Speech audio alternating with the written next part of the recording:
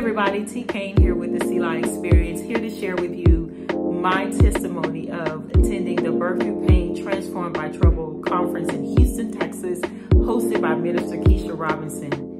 We had a phenomenal time this year at the conference. It was just as phenomenal as last year. So I want to share with you my top three reasons why you do not want to miss this conference in 2025. The number one reason that I have that you don't want to miss this conference is because it's not really a conference. It's more like a Saturday workshop. It's a seminar. It's a pep rally.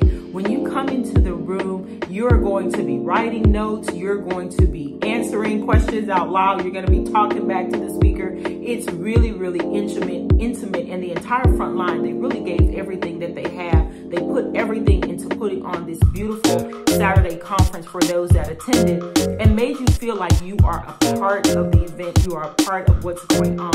And so that's one of the reasons why you don't want to miss it in 2025. Number two, you don't want to miss it because many times you feel like you are unseen and alone. There is so much love in the room. You're going to get hugs. You're going to get greetings. You're going to meet so many people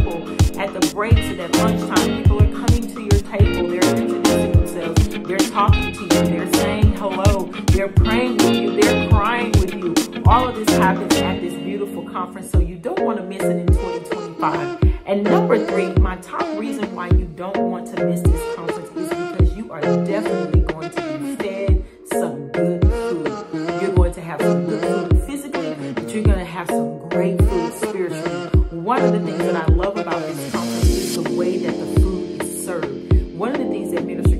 Robinson does, the incredible visionary of this event, is she has these interactive sessions during the conference where she's using the audience, the members of the um, the attendees of the event to illustrate the principles of God and the Word of God in a way that's truly transformative and they truly stick with you. It's something you have to be in the room to experience. I can't spoil it for you, but I really want to say great job to Minister Keisha Robinson and the entire front line you guys did a phenomenal job as usual. And I'm so proud that I was actually able to attend the event this year. And I cannot wait to see what the Lord has in store for 2025. Thank you guys.